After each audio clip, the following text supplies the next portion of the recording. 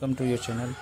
आज हम इस वीडियो में बात करेंगे Redmi Note 12 5G के बारे में और इसका कैमरा कैसा है इस वीडियो में गाइस हम बात करने वाले हैं। तो चलिए स्टार्ट कर लेते हैं यहाँ से। इसका फुल कैमरा कंपेरिजन करके देखते हैं। इसका कैमरा अच्छा है या नहीं है और अगर आप कैमरे के लिए अगर आप ये फ़ोन ले रहे हो तो आपको ये लेना चाहिए, नहीं लेना चाहिए। तो चलिए अगर स्टार्ट कर लेते हैं। सबसे पहले, जो कैमरा मैंने पॉइंट किया है, यहाँ पे एक सीधे आप गेट यहाँ पे देख पा रहे होंगे। और उस पर कुछ टेक्स्ट गाइज़ लिखा हुआ है। ठीक है? ठीक है, वो टेक्स्ट भी अच्छे से दिख नहीं रहा है हमें।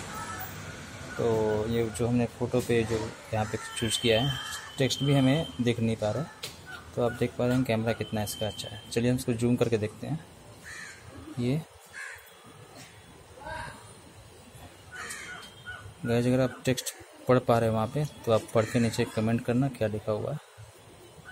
ये हमने इसको ये टोटल टेन एक्स यानी कि टेन एक्स तक जूम करता है, ठीक है?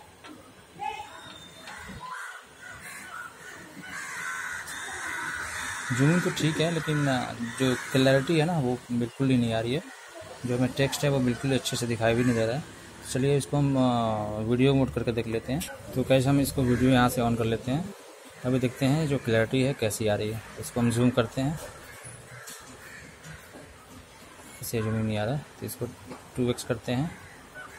मनी मंदिर अभी देख पा रहे होंगे जो लिखा हुआ है, इसको हम जूम करते हैं यहाँ से। देख पा रहे हैं, हम कितनी तो पिक्चर कैसे जो है ना ये पिक्चर क्लैरिटी कैसी आ रही है पिक्चर कैसे फट के आ रहा है। तो जूमिंग का कोई फ़ायदा नहीं है आप बिल्कुल ही फ़ायदा नहीं है, जो आप, जो क्लैरिटी है, वो बिल्कुल ही ख़त्म हो जा रही है। जैसे ही आप इसको जूम कर रहे हो। अगर वन एक्स पे है तो आप यहाँ पे देख पा रहे होंगे। इस तरह की कुछ क्लैरिटी आ रही है, बिल्कुल क्लैरिटी ऐसी नहीं आ रही है। और यहाँ से आप देख पा रहे होंगे। और इसका जो अगर लो लाइट में हम इसको ऑन करते हैं कैमरा को तो इसका जो क्लैरिटी बिल्कुल ही गायब हो जाता है। यहाँ पे जैसे इधर लो लाइट है, ठीक है? तो ये भी देख पा रहे होंगे। बिल्कुल क्लैरिटी जो है गायब हो जाती है। ठीक है। चलते हैं लाइट की तरफ़।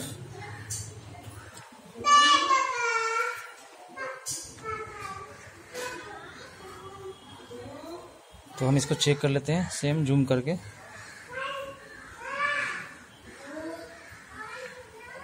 यहाँ से। ये आप देख पा रहे हैं जूमिंग इसका। जूमिंग तो इसमें टेन एक्स का दे दिया है, लेकिन जो क्लैरिटी होती है, बिल्कुल ही गायब कर दी है। तो मेरे हिसाब से अगर आप कैमरा के लिए फ़ोन ले रहे हो तो बिल्कुल बिल्कुल ही मतलब अच्छा फ़ोन नहीं है। आप नॉर्मल यूज़ के लिए इस फ़ोन को ले सकते हैं। अगर आप नॉर्मल फ़ोटोग्राफी करते हैं तो उसके लिए भी अच्छा है। और लाइटिंग इसके लिए बहुत ही अच्छी होनी चाहिए, यानी कि डे लाइट होना चाहिए। यहाँ से आप इसको देख पा रहे